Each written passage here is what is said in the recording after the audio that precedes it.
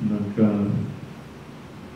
nagpasimula nag uh, it, it, it, it became an opportunity for me to, to, to also look back at my life dito sa diocese ng San Pablo. Eh, ano na ako ngayon eh, two years and uh, kulang-kulang na two years and kalahati kulang-kulang. and as I look back, at tinignan yung mga ginawa ng Diyos sa buhay ko, eh, ang una kong nasabi, eh, ang Diyos nga naman. Ang Diyos nga naman. Hindi ko, wala naman sa inagaw ko na pumunta ng San Pablo, eh, dinala ko sa San Pablo. Igan, ganyan din ang ginawa niya sa Bumaka. Hindi naman plano ko nang pumunta ng Bumaka, dinala ko sa Bumaka. Hindi naman ang plano ko sa Lipa, dinala ko sa Lipa. Eh, hindi naman yung plano ko sa Mindoro, dahil hindi naman kami taga Mindoro, kami taga Ruglong. But uh, one thing uh, that I could not deny, eh, naroon narito na ako sa San Pablo. Mga two and a two and a half years na dito sa San Pablo. At uh, ang una kong pinagpapasalamat, pagdating ko sa San nakalatag ng General Resapon, hindi ko na pinagdaanan yung mga pinagdadaanan ng mga obispo pag-uusapan yung General Resapon. Minana ko na lamang at nakalatag na. Sabi ko, maganda ito. Kahit uh, hindi ako nag-assign sa inyo, pero I trust na yung naging pag-assign sa inyo, kahit meron, meron siguro iba na hindi ka anong satisfied, eh, palagay ko, ngayon ay satisfied na. Tingnan ako ang, ano, ang mga structures. Nakalatag na rin yung DCSS. Maganda na. Tingnan ko yung, at least in general, yung mga structures sa diocese ni Naria na dapat lang mag 50 years na eh. Tingnan ko ang magandang bahay. Kaya lang na uh, bilang sabi, bakit ang bahay ng obispo para ang nakatira? Ang bahay ng obispo ang nakatira. eh, pareho naman. Ibigay hilig eh. Yeah. And then, uh, and, uh, and most of all, eh, dinatan ko ang clergy na I could work with. Ako ay pari ako ng Apostolic Vicariate of Calapan. So ako ay nasa Calapan. Ang relationship ko sa mga pari, barkada. Siyempre, magkakabarkada kami. Pagdating ko sa Lipa, ang relationship ko sa mga pari, ako ay kuya. Pagdating sa Lumaka, si Bishop Marquez ang tawag sa kanya ama. Ang tawag sa akin, kuya. Pagdating sa San Pablo, feeling ko, bumabalik uli ako sa barkada. Ewan ko how you feel about me. That is how, that, that is how I feel about uh, my relationship, my, my relationship with you.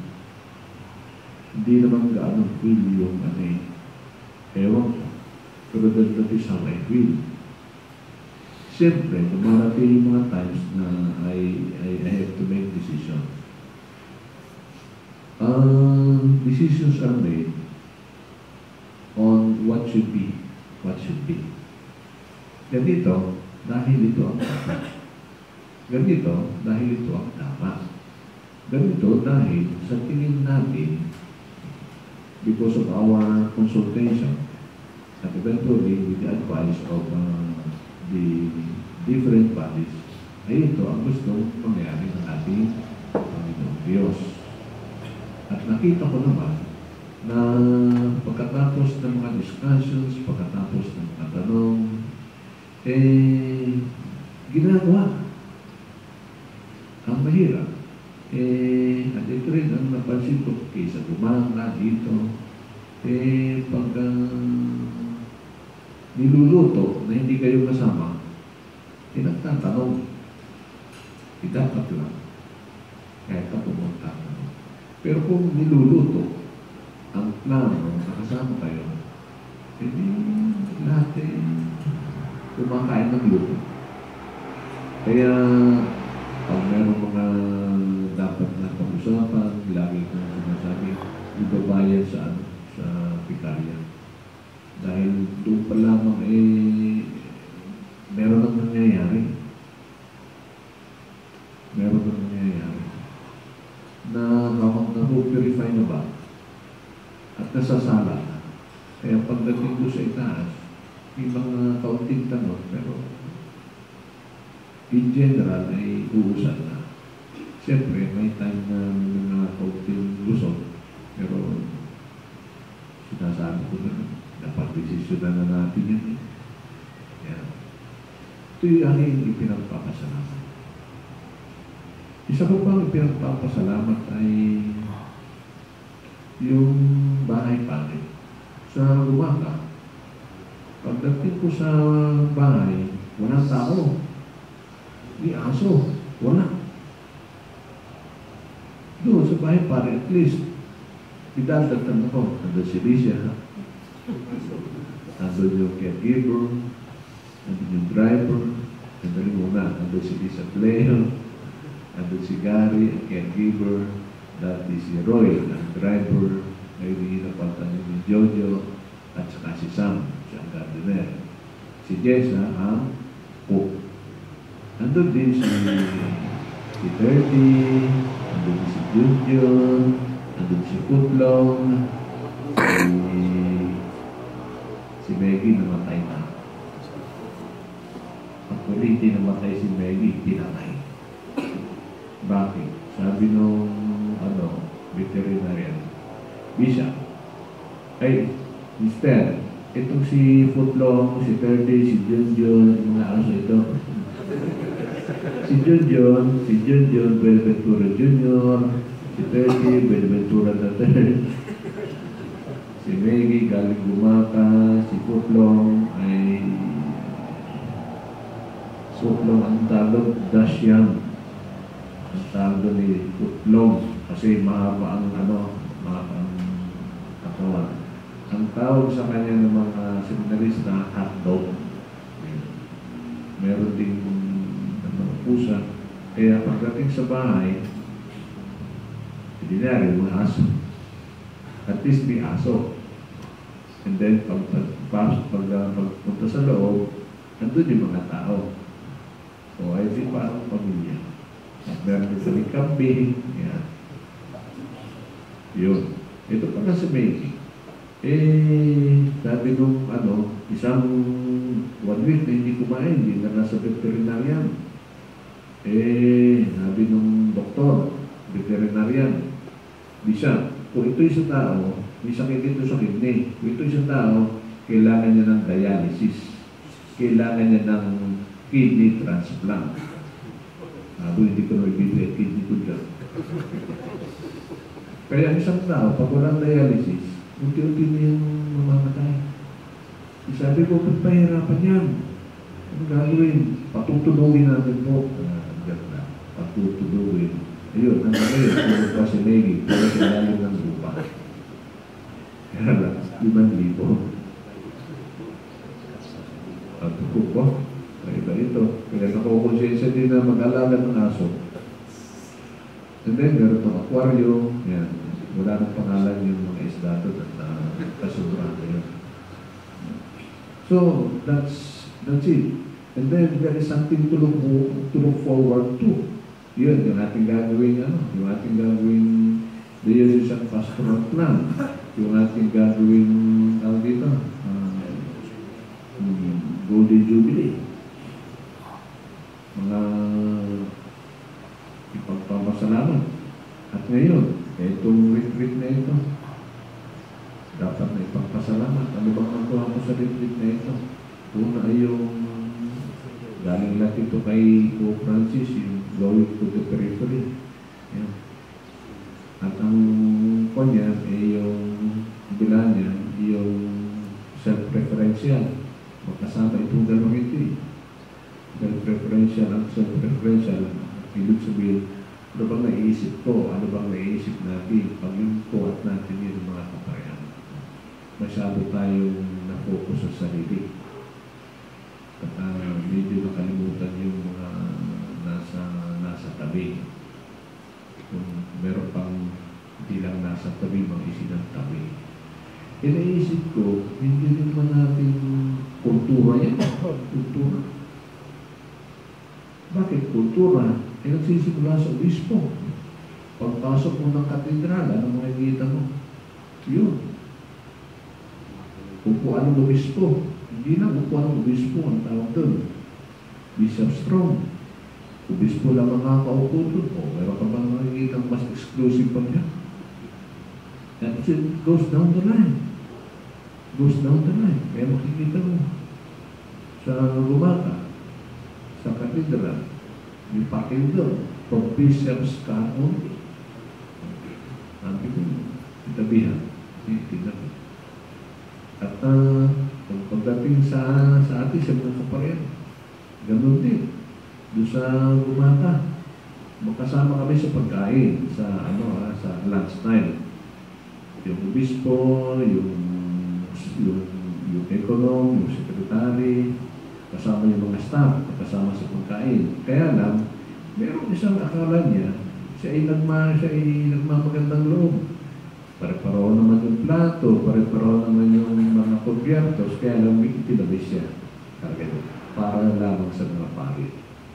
O, kaya sino naglagay niyan? ayun pala po. Kahit ang kami yun, paraw lang kayo naman yun. Yan. Kaya, hindi mga signs, meron mga, tingnan natin sa ating, ano sa open ko, ayun dyan, yung mga nakatilig dyan, for Christus only. Kuminsan, pati yung si Alsa sa Christi, eh, para lang sa mga pa, eh, parang mga nag-minister, umihi din naman yun ah. Kaya, it's there. It's part of the culture.